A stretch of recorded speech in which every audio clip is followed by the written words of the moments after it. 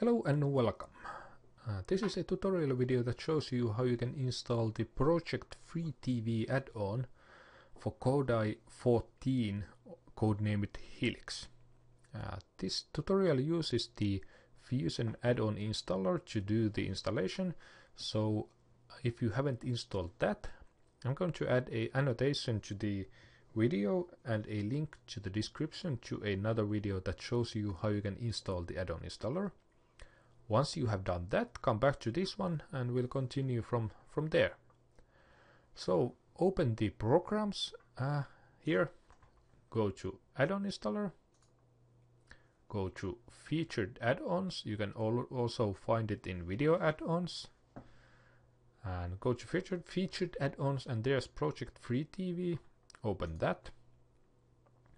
And click on here install Project Free TV and it confirms the installation. Uh, now the download uh, downloading of the add-on is is dependent on your uh, system. So what if you have installed some add-ons before, the installation is more quick.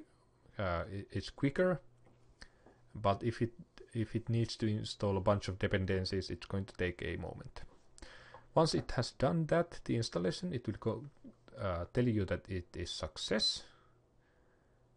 And uh, you can click on OK go back to the front page and go to videos, add-ons, and we can see that Project Free TV is in here. Let's go to TV shows, uh, popular, for example, and there it goes. Working Project Free TV. Alright, so that's it. It's that simple to install uh, add-ons using the add-on installer.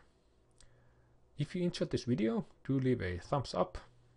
If you have any questions or comments, leave them in the uh, download uh, the comment section below. And uh, thanks for watching. I'll see you on the next one.